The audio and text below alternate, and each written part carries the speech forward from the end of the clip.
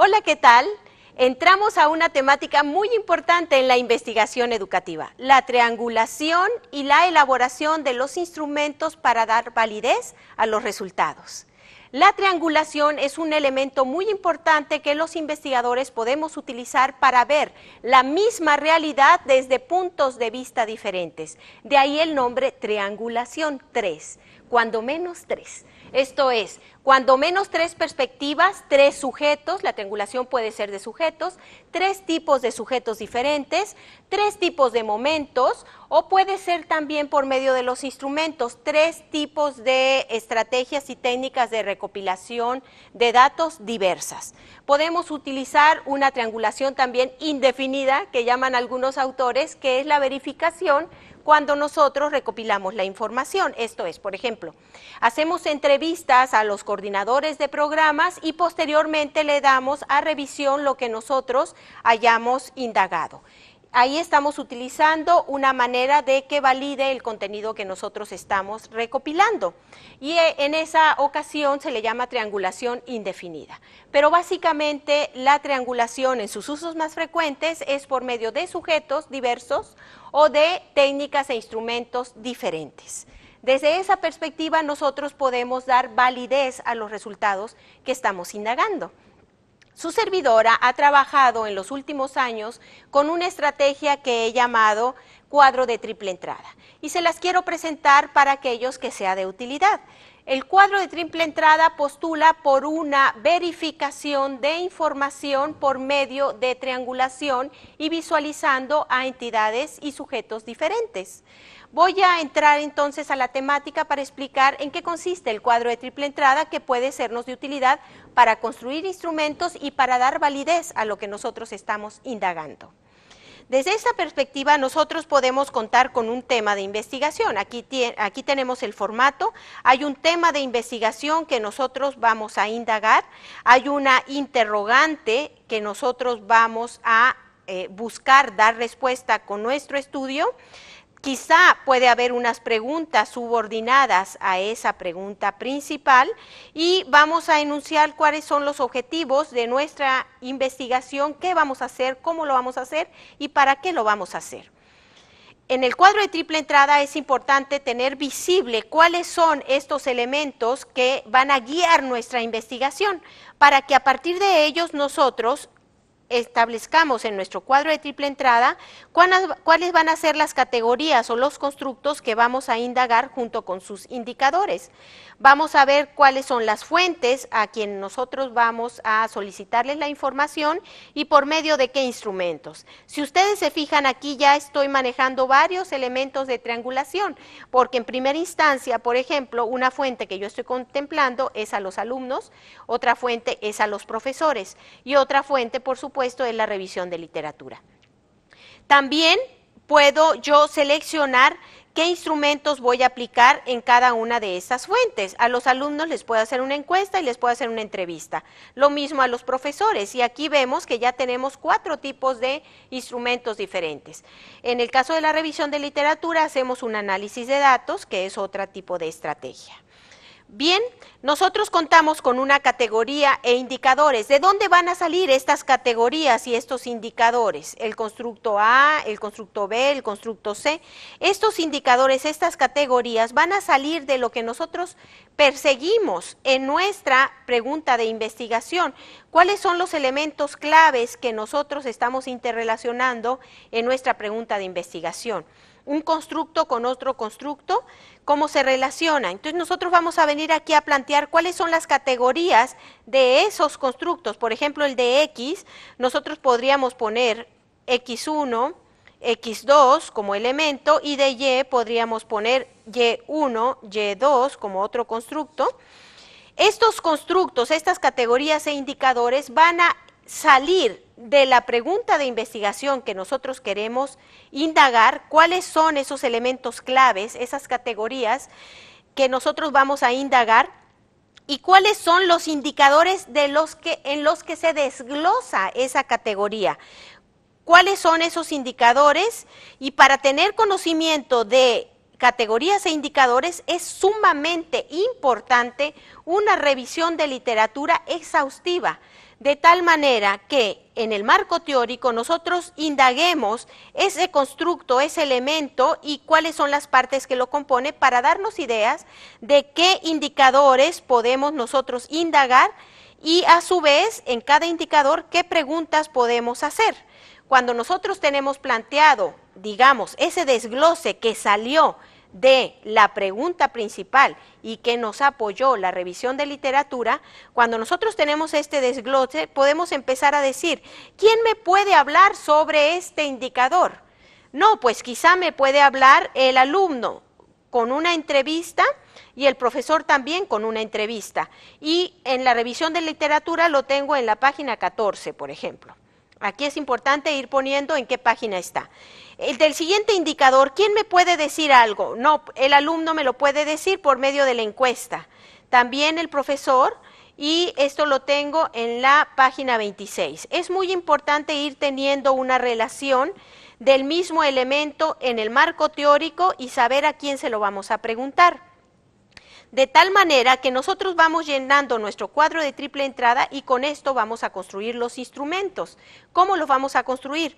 Una vez que nosotros hayamos identificado todo lo que vamos a preguntar, a quién le vamos a preguntar y por qué medio y técnica se lo vamos a preguntar, es que nosotros podemos construir los instrumentos desde esta perspectiva, desde una manera vertical, sacamos el instrumento de la encuesta, y hacemos ya todas las preguntas de la encuesta y decimos, esta encuesta para el alumno tiene estas interrogantes. Luego sacamos cuál es la entrevista que le vamos a aplicar al alumno y sacamos el instrumento de la entrevista.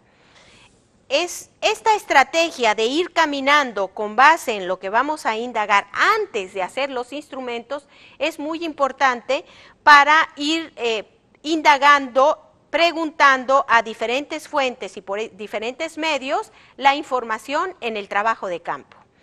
Voy a poner un ejemplo práctico. Me voy a ir a una investigación que hicimos eh, muy, muy interesante sobre los objetos de aprendizaje.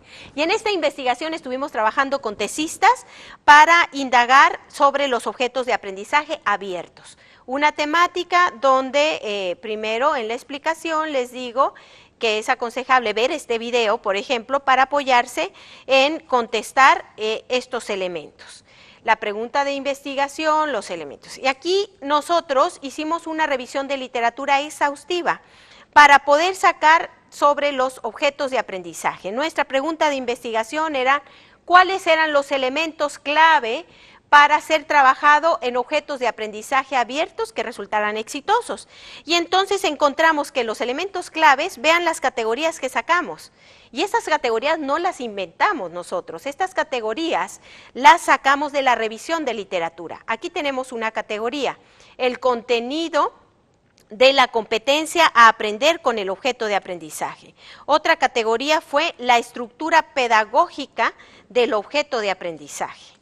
Otra categoría fue la estructura tecnológica del objeto de aprendizaje. Otra categoría que nosotros sacamos fue con respecto a el lenguaje gráfico y textual del objeto de aprendizaje. Esas fueron las categorías que nosotros sacamos. Ya les digo, no las sacamos ni no las inventamos en el grupo de investigación, las sacamos de la revisión de literatura, que fue, digamos, nuestra directriz para sacar esas categorías. Y en cada una, en esa revisión de literatura, el fundamento teórico con el que nosotros nos dirigimos, esa revisión, esa extensa revisión de literatura, nosotros le fuimos sacando indicadores. Con respecto al constructo, a la categoría de la competencia para aprender con el objeto de investigación, aquí estamos tratando de desarrollar competencias, los indicadores son los elementos finos en los que se desglosa esa categoría, ese constructo. En este caso, fue relevancia uno de los elementos. Otro de los indicadores fueron los alcances.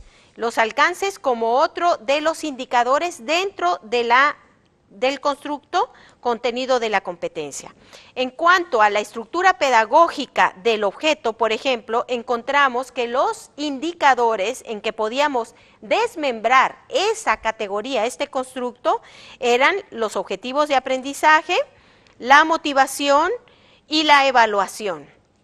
Y así nos fuimos con cada uno de los elementos y de las categorías que nosotros fuimos investigando, sacamos sus indicadores y esto no hubiéramos podido conocerlo, esos indicadores, si nosotros no hacemos una revisión de literatura exhaustiva.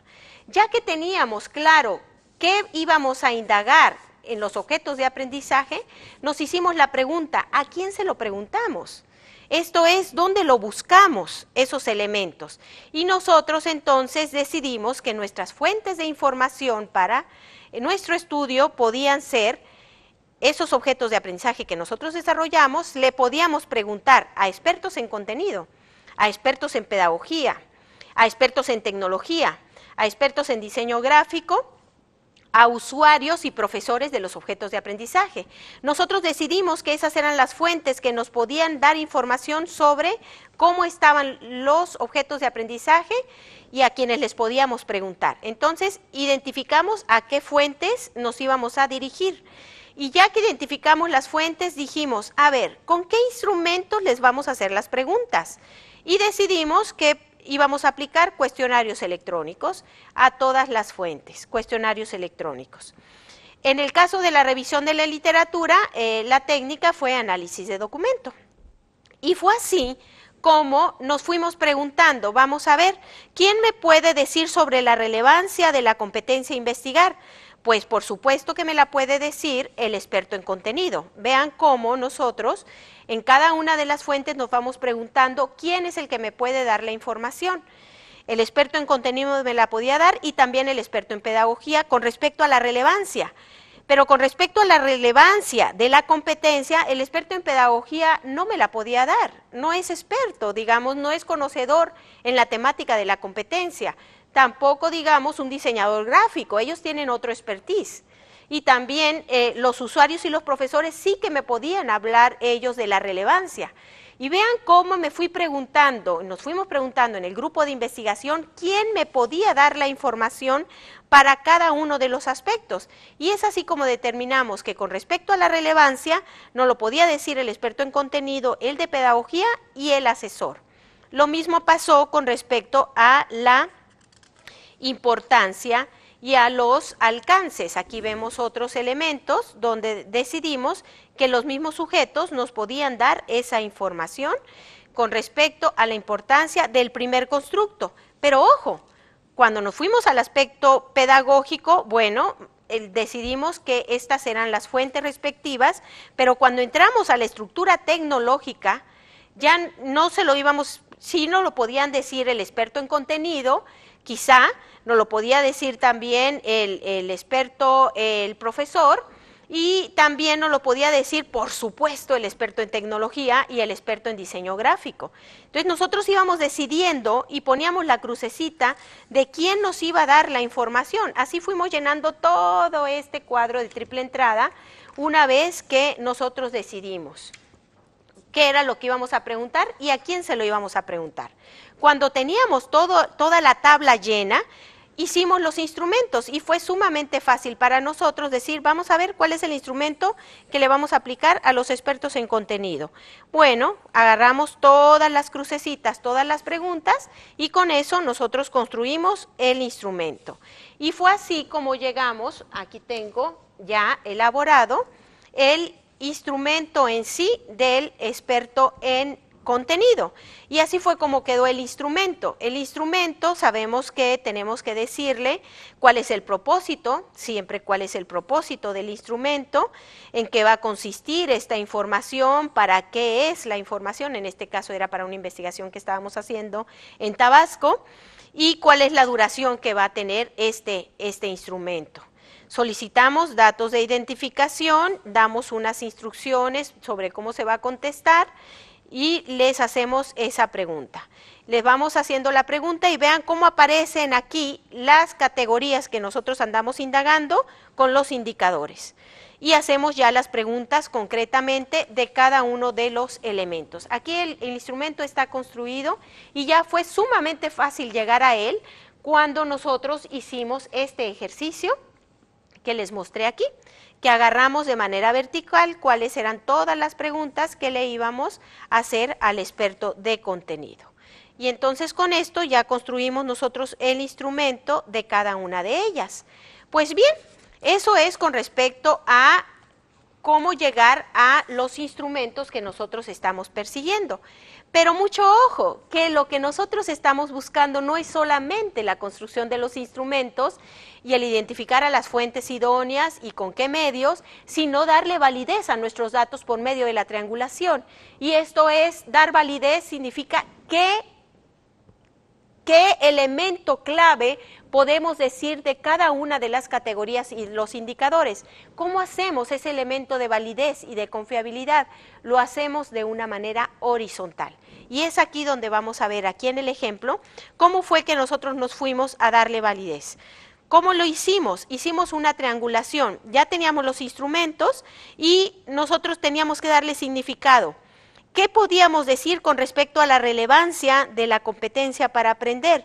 lo que nosotros hacemos es dar un cruce horizontal y ahora estamos hablando de que la validez y la confiabilidad de lo que vamos a decir con respecto a la relevancia y a ese constructo es identificando qué nos dijo el experto, qué fue lo que nos dijo la siguiente fuente, qué fue lo que nos dijo también los usuarios, los profesores, el experto en pedagogía, los usuarios, y qué dice la revisión de literatura al respecto.